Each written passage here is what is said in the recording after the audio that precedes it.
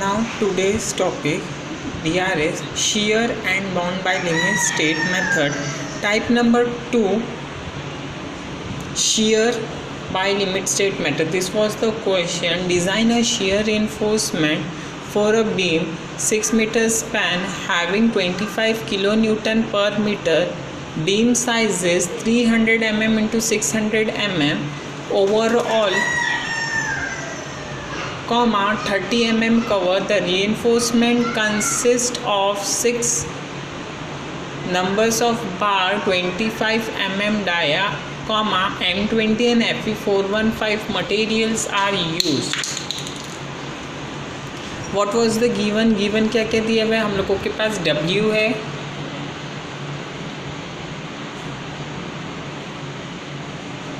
twenty five kilo newton per metre हमारे पास small B है जो कि है थ्री हंड्रेड एम एम हमारे पास ओवरऑल कैपिटल डी क्वेश्चन में मेंशन है ओवरऑल तो six hundred M M capital D है. नाउ डी डैश हमारे को क्वेश्चन में मेंशन नहीं है किया है, वो नॉमिनल कवर है इफ़ेक्टिव कवर हम लोग अज्यूम कर रहे हैं तो effective cover D dash is thirty M M now small D कैसे निकलेगा? Capital D minus effective cover तो ओवरऑल डेप में से इफ़ेक्टिव कवर माइनस होगा six hundred minus thirty is equal to five seventy M M small D this is now हम लोगों के लिए ए एस टी निकल सकता है।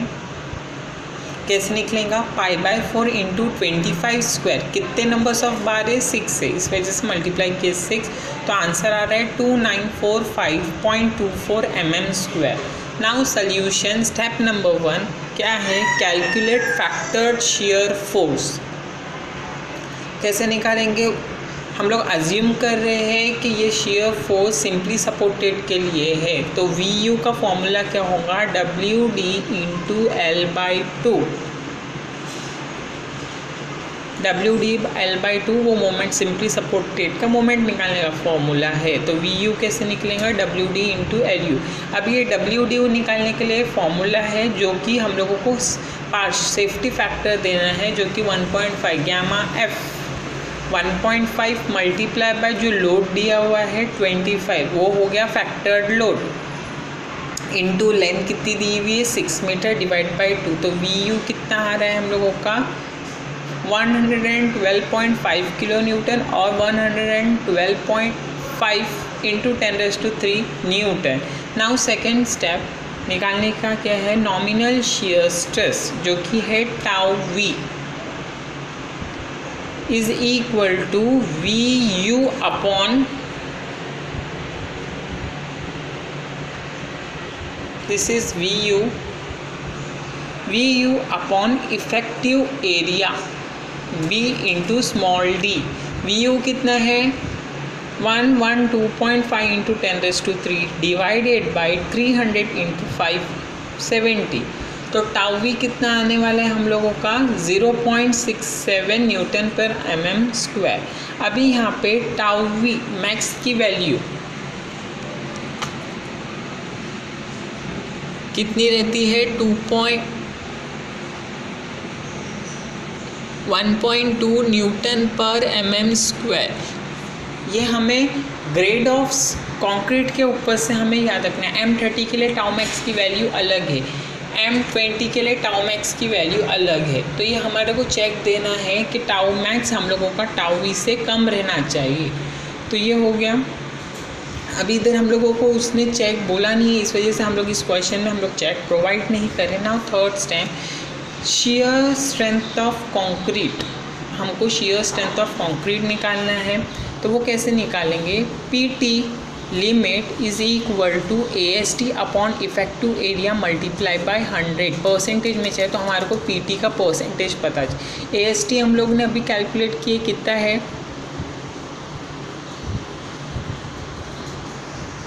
Two nine four five point two four divided by three hundred into five seventy into hundred किए तो हम लोगों का पी टी पर स्टील का परसेंटेज कितना आ रहा है? वन पॉइंट सेवन टू अभी हमारे पास क्वेश्चन में कुछ भी मेंशन नहीं है। अभी हम लोगों को टाउसी निकालना है। टाउसी कैसे निकालेंगे? टाउसी मतलब shear stress of concrete shear stress shear strength of concrete वो कैसे निकलेगा पीटी लिमिट और टाउसी से। ये क्वेश्चन में मेंशन नहीं है। हम लोग को ये टेबल भी याद करना है। स्टार्ट फ्रॉम वन से लेके पीटी लिमिट तक, जो मैक्सिमम वैल्यू है आई एस कोड ने प्रोवाइड किया है, और टाउसी मैक्स के लिए उसकी वैल्यू हमको ये सब पूरा याद रखना है। तो हम लोग अज्यूम कर रहे हैं कि P T one one point five one point seven two ये क्वेश्चन में हम लोगों के मेंशन है। अभी मेरे पास इधर स्पेस नहीं है that's why I will draw in the bottom ये हम लोगों का इक्वी ये क्वेश्चन है, दो क्वेश्चन दिया था। पीटी लिमिट टाउसी तो P one point five zero point six eight one point ऐसा क्वेश्चन में प्रोवाइड किया हुआ था।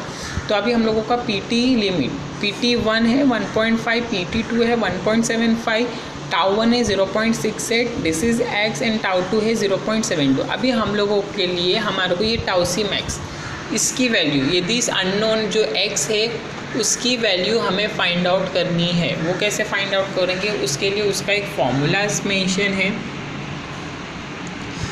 Tau is equal to tau one plus P minus P one upon P two minus P one in two tau two minus tau one. ये formula है।